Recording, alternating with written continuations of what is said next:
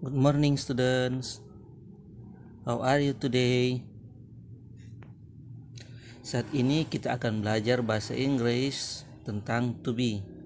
Am is are. Pastinya kalian pernah dengar tentang kata-kata ini. Am is are. To be. Ada banyak kegunaan yang digunakan dalam to be ini. Yang pertama, to be digunakan sebagai penghubung antara subjek dengan kata benda. Contoh, I am a student. Saya adalah siswa. He is a student. Dia adalah siswa. They are student. Mereka adalah siswa. Jadi, untuk yang pertama, to be itu diartikan dengan kata adalah. To be diartikan dengan kata adalah. Yang kedua,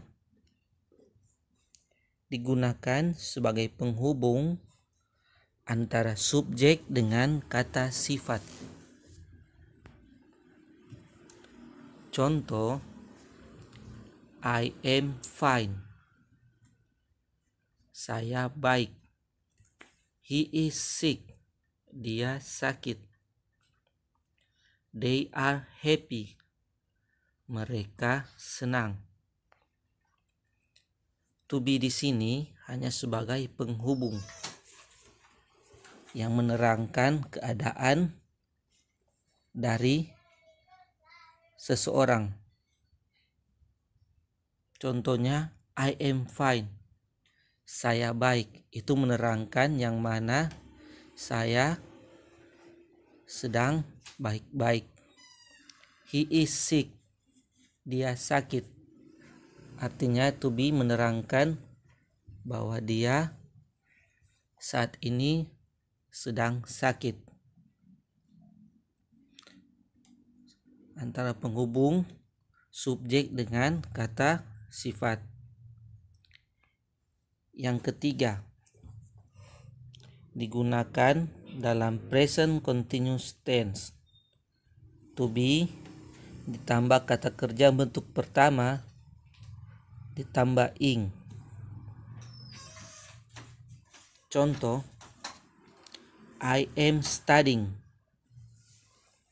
Saya sedang belajar. Artinya sedang melakukan sesuatu pada saat ini. I am studying. Saya sedang belajar. Artinya saat ini saya sedang belajar. He is reading. Itu menerangkan bahwa saat ini dia sedang membaca. Sampai di sini saya harap kalian mengerti. Kalau belum mengerti kalian bisa mengulang kembali videonya. Kita lanjut.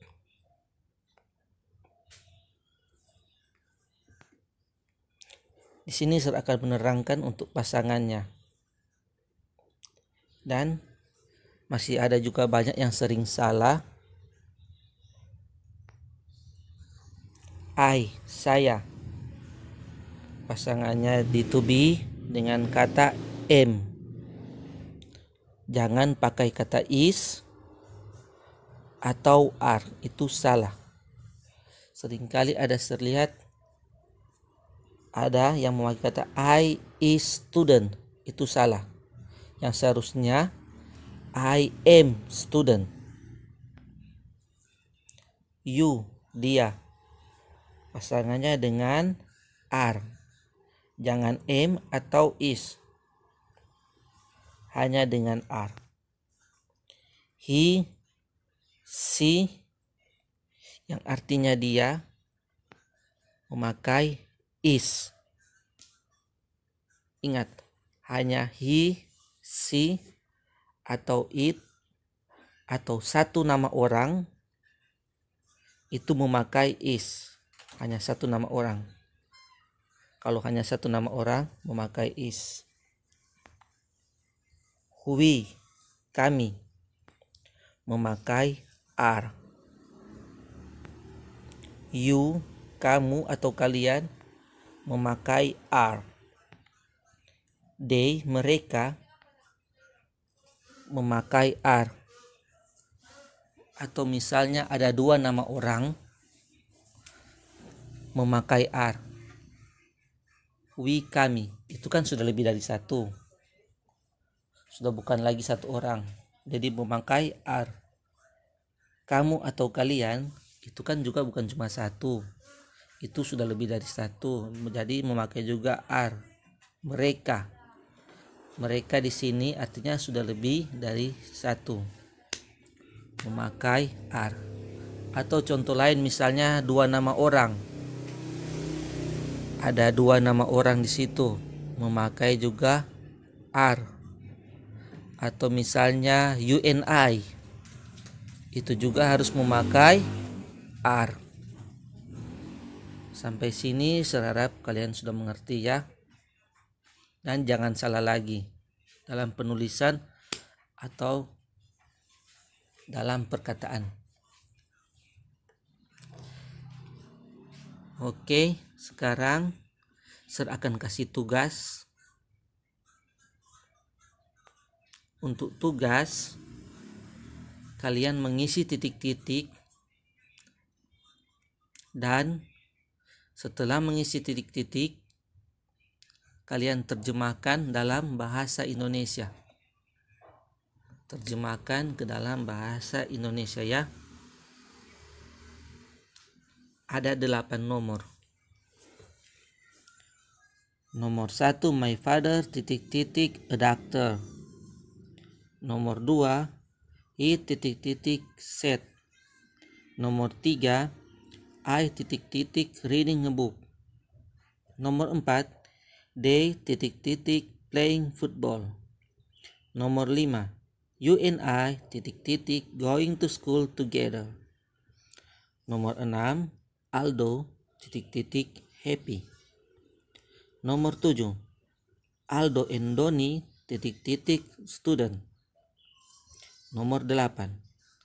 They titik-titik playing hide and seek. Itu delapan nomor yang kalian harus buat. Dan kalau sudah foto dan kirimkan ke Google Classroom ya. Langsung kirim ke Google Classroom kalau sudah selesai. Oke sampai sini video pembelajaran dari Sir. Apabila kurang mengerti kalian bisa mengulang kembali videonya See you later.